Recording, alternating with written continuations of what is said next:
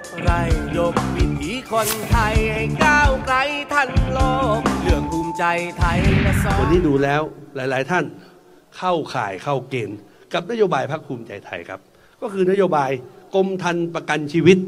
นะครับ หมายความว่าผู้สูงอายุที่มีอายุ 60 ปีขึ้นไป ที่เป็นคนไทยทุกคนนะครับ จากนี้ไปเราเข้าไปเป็นรัฐบาล เราจะออกเอกสารประกันชีวิตให้กับพ่อแม่พี่น้องทุกคนที่มีอายุ 60 ปีขึ้นไป เมื่อเสียชีวิตบุตรหลานของเราทายาทของเราก็จะได้1 0 0 0 0แสนบาทครับ ผม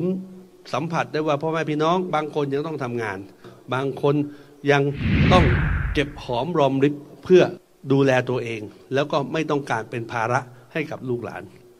จากนี้ไปครับพ่อแม่พี่น้องครับกรมธรรม์ประกันชีวิตใบนี้ พ่อแม่พี่น้องเมื่ออายุถึง 60ปั๊บ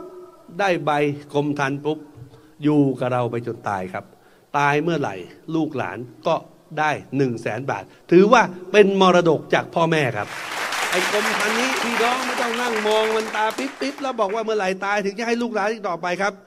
เอาไปวางไว้ที่ธนาคารของรัฐ แล้วเบิกมาใช้สองหมื่นบาทเลย